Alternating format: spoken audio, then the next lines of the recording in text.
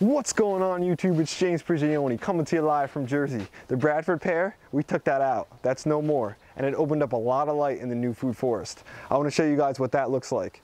The seeds, they're sprouting. The new heating mat, how's it working out? I'm gonna bring you guys along. Let's go. It's kind of funny because I mentioned it in a previous video, how in New Jersey during March, we go from like one day where it feels like winter to the next day it feels like spring. So just the other day we got blanketed with snow. It was like a nor'eastern. You guys might have gotten hit also. And now today though, it's like spring. It's beautiful. It's so sunny. Everything's melting. And just the other day we took the tree down. Let me show you. This was the Bradford pear that I talked about in my previous videos showing how it was blocking too much light in the, in the new food forest.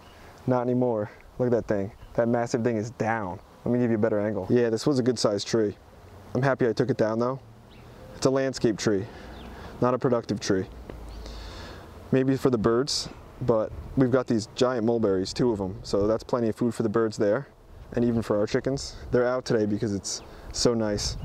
Even though it doesn't look nice, it is a nice day out, especially when the sun comes out from the clouds.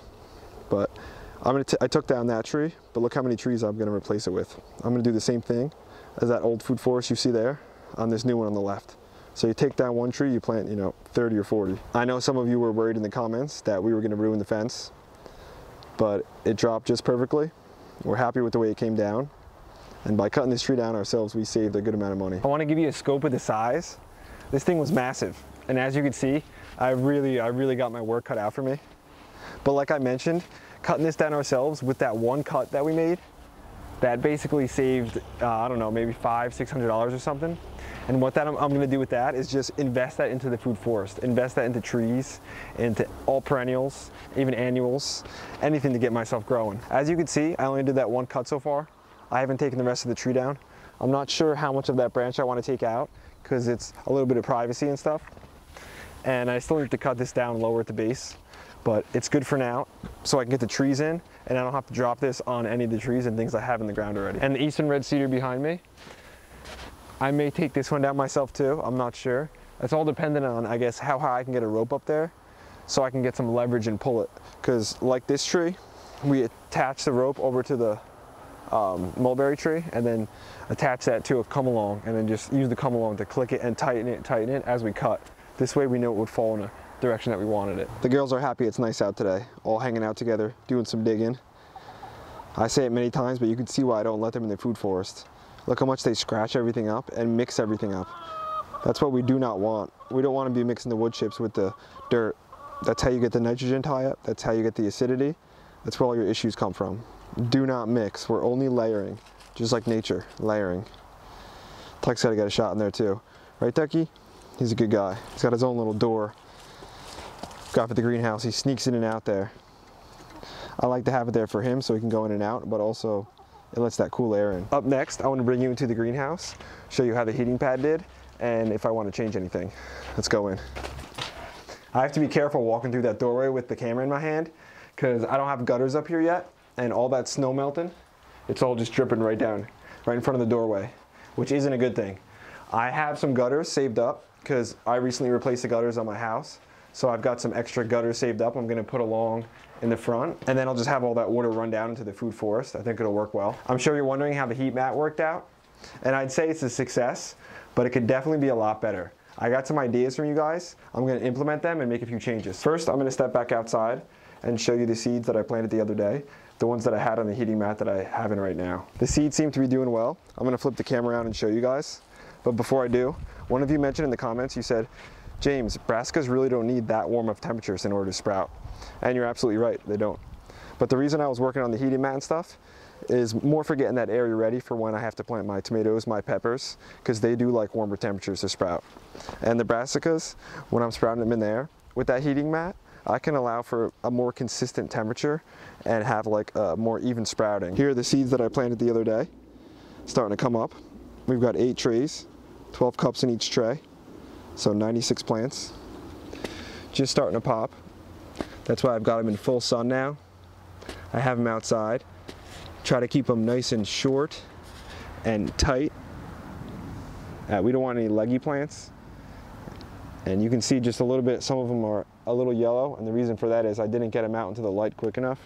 So I had them in a kind of a dark area for a few hours too long, maybe six to 12 hours too long. But they'll green up, especially from today, getting this nice light. All these plants here, I started in just one day, just to give you guys an idea of the potential of how much food you can really grow. Even if you wanted to sell some of these small starts, $2 a piece or something, there's a lot of potential.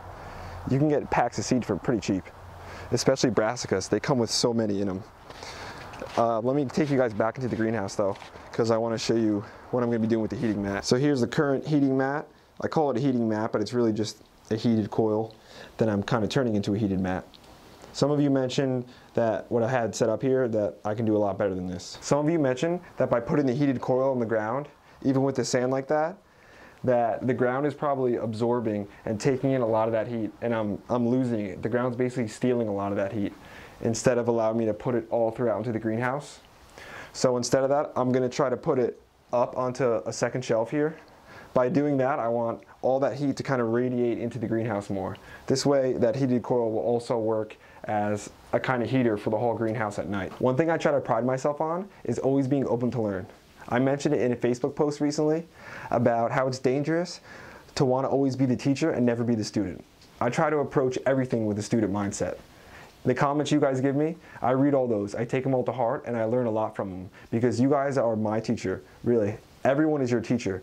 You can learn things not to do from people just as much as things to do. So on these vlog style videos that I'm bringing you guys along for, these aren't how-tos. I don't know everything and exactly what I'm doing, but I'm doing it. I'm taking the steps, and that's one of the reasons I'm sharing these, because I want these videos to first off give you some good ideas, to also inspire you, to encourage you, and to show you that anyone can do this. You can do this. This isn't rocket science. And you'll see, I'm no genius. I'm nothing special. But I'm to get a lot of food out of here by taking the right steps and doing this stuff. And you guys know there's no possible way that you can reap if you don't sow. I'm going to take some of these 2x6s, some of these 2x4s, move them to the shelf below. This is where I'm going to have my new heated mat set up. This way it can radiate the heat down a little bit and it's a little cooler down here than it is up here. So here's the idea. I picked up these totes. I think they'll work well. And I'm going to drill a hole in the side, fill that baby up with sand, and then I could run the coil into it like that. I picked up two of them. If it works well, then I could run two of them right next to each other and it fits really well with two trays. Let me just grab two trays, show you how it's gonna work, give you guys an idea. So that tray will be like that, this one like that. Fit two trays nicely in there. That's 24 plants, and then I've got this lid. And it'll fit nicely, this way I can keep the humidity high, take it off when I want to. Think it'll work out nicely. There are a number of reasons I think this system is gonna work a lot better. One of them is the lid. This way I can keep the humidity high. When I'm in the greenhouse and it starts to get warm, I open the door and I open the window, which bring all that cool air in, but it also drops the humidity down. With this lid and this little system, I can have my own kind of separate environment for starting my seeds. At first I was indecisive whether or not I wanted to drill a hole in the lid or in the tote itself. I decided I'm just gonna drill in the tote because if I drill in the lid, every time I lift the lid, I'm gonna get an issue with that. I'm going to use a hole saw for this. It's made up of two parts or three parts I guess. Just unscrew this back here and then slide this piece right down. And in time, this one reminds the other of a part. But first, this isn't going to be isn't going to drill through it. I need to pre-drill a hole. I'll pre-drill just with this one here, and again, I want it relatively high, as high as I can. What I really don't want is this to crack, so I need to be careful. Couch, another dry month waiting for the rain. That looks like it should be good, and no cracking. We'll just feed the wire right through that. And it looks like it's high enough that I won't have an issue with the sand. Okay, I got holes drilled in both sides. This way I can run the wire in one way and run out the other way. Let me get the sand in now. I'm not gonna use the whole bag.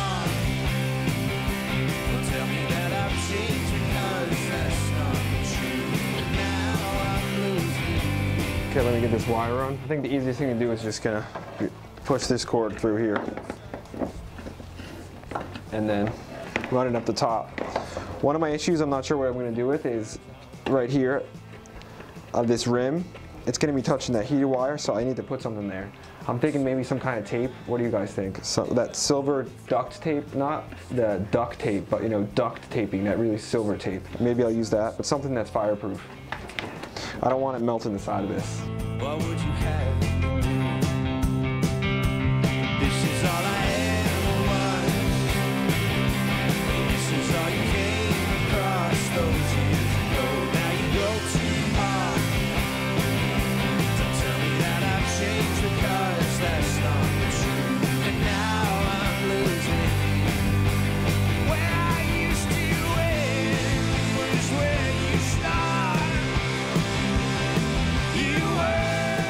That's the basic gist of how it's gonna go.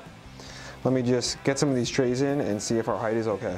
Here's one of the trays that I already have sprouted, but just wanna put it in and make sure the height is good. And looks like it's pretty perfect. Just like that. I'll be able to fit two trays in. Maybe I'll put just a little bit more sand in because there's that gap in the cup where the seeds have room to sprout up. If they do sprout, if I get here a little late. And I also want to keep this as much sand as I can because it'll work as more of a thermal mass. Is there another way?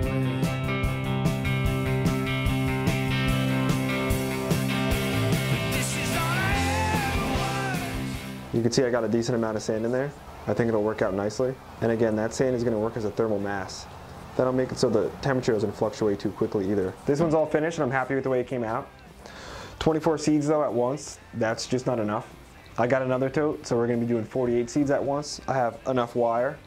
And again, I have to kind of observe this to see how hot it's gonna get in there, see how much the wire is gonna heat it up, whether or not I have to add a little more sand, take some sand out, or I can even use maybe less wire in there and run three of these or four of these. But again, I'm gonna have to just step back and observe and let that guide me. Right there, that heated coil, I don't want that touching the plastic. That's where I'm gonna have to put some tape or something.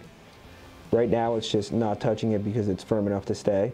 I'm gonna unplug it though until I can put some tape in, just to be safe. I don't want that plastic melting or anything. That's today's video, guys. Thanks for watching. If you enjoyed it, hit the like button, hit the subscribe button, share it with your friends. Check us out on Facebook, on Steemit, and as you guys can see, I got my work cut out for me. Literally, and I guess pun intended. See you in the next one.